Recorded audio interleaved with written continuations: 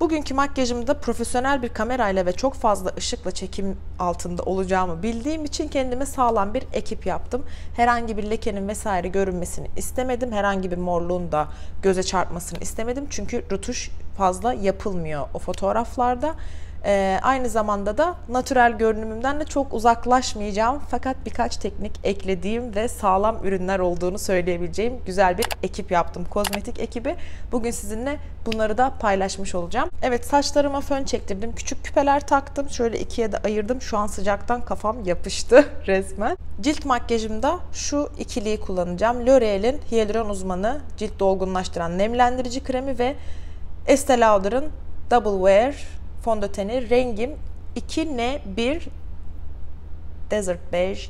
Umarım doğru görünüyordur oradan. Ters ekran değildir. Aşağıya açıklama kutusuna bütün ürünleri koyacağım bu arada. Merak etmeyin. Başlıyorum. Nemlendiricimden biraz alıyorum. Yüzümün merkezinden dışına yayıyorum. Hem buradaki çizgi görünümünü giderecek hem de SPF'in fotoğraflarda doğal bir yansıma yaptığını düşünürsek bunda da 20 SPF var. Yani güneş koruma faktörü. Bu da çekimde bana hafiften destek olacak ve fondötenimin de iyi yayılması için gerçekten güzel bir zemin hazırlıyor. Ekstra bir şeye ihtiyaç duymuyorum. E, gözenek kapatmaya falan şu anda ihtiyacım yok. Çünkü öncesinde maske uyguladım. Bugün cilt bakımımı yaptım. Fondöten olarak Estee Lauder'ın Double Wear Stay in Place Makeup gerçekten götürdü beni ve geri getirdi ve maskeme rağmen dayandı. Tekrar söylüyorum. Çok iyi fondöten. Bunu süngerime bir iki pompa yerleştiriyorum ve yüzümün merkezinden dışına yayacağım. Makyajımda şu anda fırça izi vesaire ile ekstradan uğraşmak istemiyorum ve bu fondöteni e, Beauty Blender gerçekten çok güzel yayıyor. Bu orijinal Beauty Blender siyah olanı kullanıyorum. Fakat rengi fark etmez. İyi bir sünger fondöteninizi çok güzel yayacaktır. Göz altıma getirmiyorum çünkü ürün birikmesini istemiyorum. Kat kat kat ürün olsun istemiyorum orada.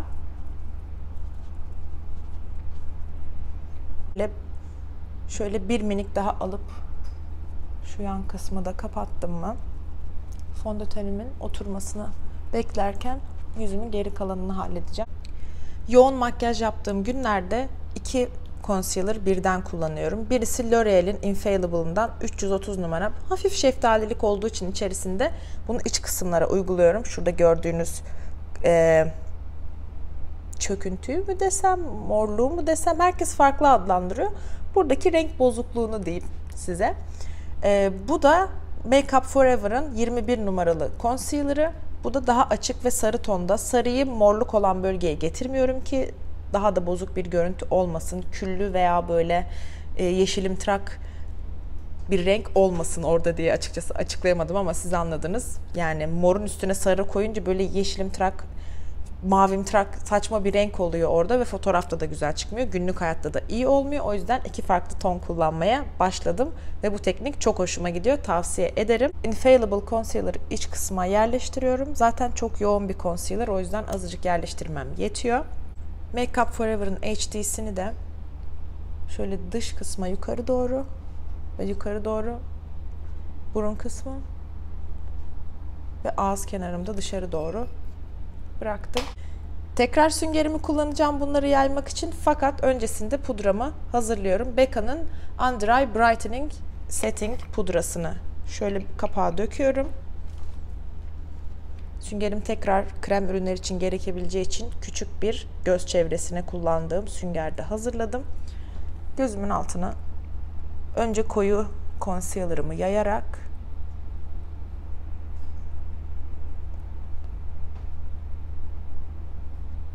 daha sonra da gözümün etrafında şöyle bir lifting efekti de vermiş oluyor.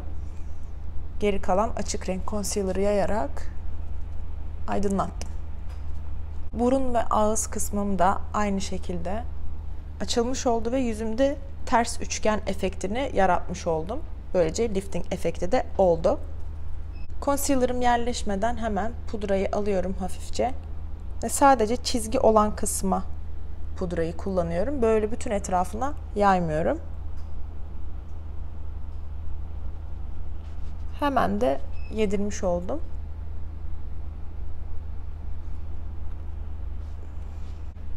Çekimdeki ışıklar böyle pat diye yüzümün ortasına vuracağı için alın ve burun şu T bölgemin çok fazla parlayacağını biliyorum. Ne kadar hani yarı mat, çok böyle ışıl ışıl bir fondöten değil kesinlikle görüyorsunuz. Doğal, kapatıcı ve kalıcı bir fondöten. Ee, yine de ben oraya gidene kadar havadır, terdir derken yüzüm bozulabilir. Pudramı da yanımda götürüyorum. Ee, Maybelline Fit Me'nin 128 numarası var elimde. Bunu geniş bir pudra fırçasına alıyorum. Ve alnımın ortasına getiriyorum. Yüzümün her yerini hafifçe pudralıyorum. Çok fazla pudralamıyorum. İnce bir katman yeterli. Yine doğal bir görünüm kalsın diye böyle pudra pudra kek kek görünmeyelim fotoğrafta. Böyle pürüzler daha çok ortaya çıkabiliyor çünkü o zaman. Ya çok yağlıyken ya çok kuruyken bütün pürüzler ortaya çıkıyor. O yüzden dengeli kullanmamız gerekiyor her şeyi. Şöyle pudraladım yüzümü. Birazdan kullanacağım toz ürün içinde güzel bir zemin hazırlamış oldum. Rahatça yayılacak. Böyle parça parça durmayacak. Ee, şimdi yüzümün pudrasını sürdükten sonra bir tık ona oturması için vakit vermek adına gözümün bazını yapacağım. Bunun için de yine Infallible Concealer'ımı ve Fit Me pudramı kullanacağım.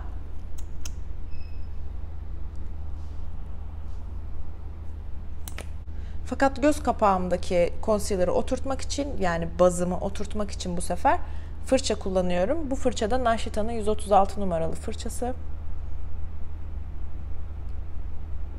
Böyle kaş altına kadar rengi eşitledim. Bu sıcak günlerde kesinlikle bir göz bazı kullanmanızı tavsiye ederim concealer'dansa. Ben hızlı bir makyaj yaptığım için ve yine de durduğu için ne yaptıysam aynısını gösteriyorum size. Tavsiye edeceğim e, göz bazlarını da açıklama kutusunda linkte bulabilirsiniz. Real tekniğin bu fırçasını alıyorum. Kapatıcım kurumadan ve çizgilere dolmadan pudrama birazcık batırıyorum. Bu sesi özlediniz mi? ve hemen göz kapaklarımı sabitliyorum. NYX'in Ultimate 3 numaralı Warm Naturals far paletini alıyorum ve buradan şu aşağıdaki hafif kızılımsı kahve tonunu alıp göz kapağımı belirginleştireceğim. Neresini? Tam olarak şu kesim noktasını. Hafif kızıl oldu şu anda. Fakat değişecek. Merak etmeyin. Kızıl göz makyajıyla vesikalık çekmeye gitti dedirtmem. Fakat birazcık renk istemiştim. Böyle şu kısma kadar getirdim bunu. Kaşımın altına, kaşımın başlangıcının altına kadar da getirip yaymaya devam ediyorum. Fırça hareketlerinizi ne kadar fazla tutarsanız o kadar iyi farınızı yayarsınız ve rengini o kadar iyi difüze edersiniz. Yayarsınız. Gördüğünüz gibi o kızıllıktan geriye kalan ufak bir canlılık oldu. Bu sefer MAC'in 217 numaralı fırçasını aldım ve buradaki kahverengi tonu alıyorum. Birazcık daha derinleştiriyorum gözümün etrafını. Şu dış V kısmını doldurmam benim için yeterli. Çünkü tekrar karıştırma fırçamla başka renklerle devam edeceğim. Birazcık da şuradaki kahveyle buradaki kahveyi karıştırıyorum. Keşke isimleri olsa şuradaki ve buradaki.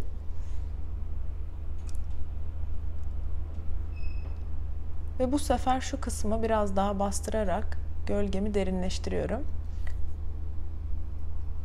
Göz bebeğimin şu kısmından itibaren koyulaştırma yapmıyorum. Çünkü gözlerimin çok yakınlaşmasını değil hala uzak kalmasını istiyorum. Asimetrisi fazla göze batmasın diye böyle dümdüz çekindiğim fotoğrafta. Fakat göz bebeğime kadar da birazcık getiriyorum. Yaydıkça zaten düzeliyor, güzelleşiyor. Bu fotoğrafları resmi yerlerde kullandığımız için eyeliner görünümünden uzak durmanızı tavsiye edebilirim. Daha formal, daha şık, daha net ve profesyonel görünüm için bence yani izlenim bırakacaksak kahverengi bir kalem ve koyu kahve bir far bir de kesik bir fırça işimizi görecek. Elimde şu anda MAC Teddy kahverengi göz kalemi var. Bununla kirpik dibime dokunduruyorum. Kuyruksuz bırakıyorum. Profesyonel görünüm. Çok fazla içe getirmiyorum. Yine gözümün tamamının dörtte üçünde tutuyorum. Far paletime dönüp koyu bir kahverengiye kesik fırçamın ucunu alıyorum ve şimdi bunu birazcık dağıtacağım. Oh, oh ne kadar güzel duruyor. Birazcık şöyle çekeyim. Aynısını diğer tarafa da yapıyorum. Yine kuyruksuz olmasına özen gösteriyorum. Yeter ki orada bir belirginlik olsun. Güneş ne güzel geliyor. Şöyle yatay bir fırçayla kahverengilere, kızıla işte kullandığım renklere batırıyorum. Ve alt göz kapağımda dış köşeyi kirpik dibinden boyuyorum. Zaten bir kere batırmam yetti bile. Yine pudraya batırdığım küçük fırçamla etrafını temizliyorum gözümün. Burun etrafımı da tekrar şöyle bir matlaştırdım. Çok yoğun pigmentlerle ben iyi baş edebiliyorum diyorsanız alabileceğiniz iki tane kontür paleti markası var. Çok sağlam. Acayip pigmentli, yıllardır favorim olan biri Naked, biri de Kat Von D okumakta o kadar zorlanıyorum ki Shade and Light kontür paleti. Bundaki ortadaki renk benim için yeterli oluyor. Bunu pudralayıp yerleşen artık bölgede Morphe'nin fırçası bu bu arada. Morphe'nin R13 numaralı fırçasını kontür için kullanıyorum. Elmacık kemiklerimi kontürlüyorum. Hafif burnumu kontürlüyorum bununla. Çok dikkatli bir burun kontürü yapmıyorum. Öylesine bir daraltma yaptım gibi. Birazcık çamur gibi duruyor olabilir şu anda. Daha sonra üstünden geçeceğim. Toz ürünlerle işim bitmek üzere allık olarak MAC Peaches rengini kullanacağım. Yine yukarı doğru çekiyorum. Şöyle hafif kesik bir allık fırçasıyla boşlukları dolduruyorum. Şu an çok sert göründüğünü biliyorum makyajımın. Fakat gidene kadar eriyecek ve fotoğrafta zaten yarısı silinecek veya fazla net çıkacak falan. Belirlemek istediğim yerleri belirledim. Belirginleştirdim kısacası. Hafif burnumun ucuna da dokunduruyorum. Highlighter'ı o kadar minimal tuttum ki anlatamam. Ee, Whisper of Guilt yine MAC'in highlighter'ını kullanacağım aydınlatıcısını. Çok minik şu kısmıma falan dokundurdum. O da dışarıda güneşe falan çıkarsam arkadaşlarım görsün diye aşırı minik dokundurdum yani. Ve ufak bir fırçayla da gözümün içine uyguladım. Biraz daha gözlerim ayrılıp uzaklaşsınlar diye fotoğrafta. Anastasia Beverly Hills'ın bu e, Duo kaş altı temizleme kalemi var. Bunu kullandım. Kaş altımı temizlemek için şöyle temiz bir dağıtıcı fırçayla temizledim. Ne kadar daha belirgin ve temiz duruyor görüyorsunuz. Daha önce kullandığım karıştırma fırçasına da hiç ürün almadan farımı birazcık daha dağıtıp yerleştirdim oraya. Böylece net ve keskin bir görüntü olmayacak orada. Güzel bir şekilde dağılmış olacak. Kaşımı da doldurmadım. Doldurmak yerine renkli bir kaş maskarası kullandım. Yazısı silinmiş biraz. Benefit'in 4,5 numaralı Gimme Brow renkli kaş maskarasıyla şöyle ön kısımları yukarı doğru taradım ve giderek kaşımı yatıra yatıra içlerinde doldurmuş oldum. Görüyorsunuz daha net bir görünüm var. Çünkü iç kısmı doldurmak istemiyorum. Fazla sert bir görünüm oluyor. Beğenmiyorum o görüntüyü son zamanlarda. Diğer kaşıma da aynı şekilde sadece Gimme Brow'la doldurup tarıyorum ve şekillendiriyorum. Aynı zamanda da sabitlemiş oluyorum kaşlarımı. Tam olarak burada tüm pudra ürünlerle işim bitti. Maskara ve ruja geçmeden önce MAC Fix Plus kullanıyorum.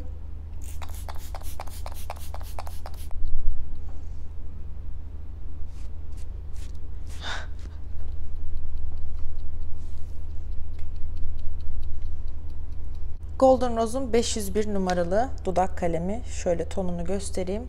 Dudak rengime yakın bir tık daha kahvemsi. Alt dudağımın sadece merkezde birazcık dışına kayacağım. Hafif şöyle gölgemsi ve dolgun gözüksün diye. Üst dudağımın da yine merkezinde. Minik bir taşırma ama çizgiyi takip etme yapıyoruz. Bu mat ve kalıcı dudak kalemini takip ettiğim ruj ise şöyle size tonunu göstereceğim. Kiko'nun renkli balmlarından, dudak balmlarından 08 Almond rengi. Yine bu da aşağıda olacak. Şöyle fazla gözükmüyor gördüğünüz gibi. Neredeyse yok denecek kadar. Fakat şeftalimsi değil kahvemsi. Kendi dudak rengimle ay eridi sıcaktan. Ben bile eridim şu an. Şöyle. Kendi dudak rengimle e, eriyip birleşmesini ve hani bu ıslaklığımı kaybettikten sonraki duruşu, o nemli taze dudak duruşunu çok beğeniyorum. Tavsiye ederim kesinlikle. Bir kıvırcı. Ne olur ne olmaz fotoğrafta gözlerim iyice açık gözüksün. Ne olur ne olmaz. İki tane maskara kullanacağım. İkisi de favorilerimden. L'Oreal'in Paradise'ı ve Bambi'si fakat bu ekstra siyah olan mıydı? Evet. Farımla bu kadar uğraştıktan sonra maskara farıma gelip de bozsun istemiyorum. Tekrar orayla uğraşmak istemiyorum. Öyle bir detay istemiyorum. O yüzden el aynamı aşağıdan tutup böyle kaşlarımı havaya kaldırarak kirpiklerimi dipten boyamaya başlıyorum.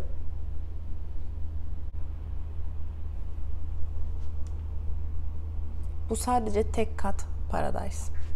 Yeni formülü de çıkmış onu da denedim ama vesikalığa giderken bunu kullanıyordum. Bitmek üzere olduğu için de Bambi'ye geçiyorum. Bunun da taraması çok hoşuma gidiyor ve e, kirpiğin merkezini böyle gerçekten Bambi Bambi yapması çok hoşuma gidiyor. İç kirpiklerime de dokunduğumdan emin oluyorum. Ve dipten sürüp kirpiklerimi iyice kaldırdığıma da emin oluyorum. Bir yandan gözlerimi kırparak fırça darbelerine yardım ediyorum. Böyle bir efekt değişikliği oldu. Alt kirpiklerimde sadece dışarıya birazcık ucundan dokunuyorum. Çünkü o örümcek bacağı gibi olmasını istemiyorum. Alt kirpiklerim çok uzun. Hemen bir şey dokundurduğum zaman uf, böyle duruyorlar. Adam fön çekerken kafamı mı yaktı acaba? Oradan 3 tane saç çıkmış tweet'i gibi. Kadim dostum siyah blazer'ımı da giydim. Şu anda bir spiker gibi göründüğümü farkındayım. Resmi dairede kullanılacağı için bu fotoğraf köşeli omuzlar, formal bir görüntü, profesyonel ve az gibi görünen makyaj işimizi halleder diye düşündüm. O yüzden her vesikalık çekilmeye gittiğim zaman bu ceketi giyiyorum. Size de tavsiye ederim. Gerçekten iyi izlenim bırakacağınıza eminim. Umarım makyajı beğenmişsinizdir. Dediğim gibi saçıma da düz fönümü çektirdim, makyajımı yaptım. Üstüme net bir şeyler giydim ve fotoğrafımı çekindim. Aynen bu şekilde çıktı. Neredeyse aynısı ama işte o kameralar nedense kafamızı daha büyük gösteriyor. Neyse bu gerçekle yaşayabilirim. Evet nasıl buldunuz? Beğendiniz mi? Çok merak ediyorum. Aşağıda yorumlarda buluşalım. Beni Instagram'da takip etmeyi isterseniz buraya hesabımın adını bırakıyorum. Orada daha çok aktifim çünkü. Bu videoda size söyleyeceklerim bu kadardı. Umarım hoşunuza gitmiştir. Eğer gittiyse beğeni, gitmediyse beğenmemeyi tıklamayı unutmayın. Abone olabilirsiniz kanalıma isterseniz. Açıklama kutusuna da göz atmayı unutmayın. Kendinize çok iyi bakın. Hoşçakalın.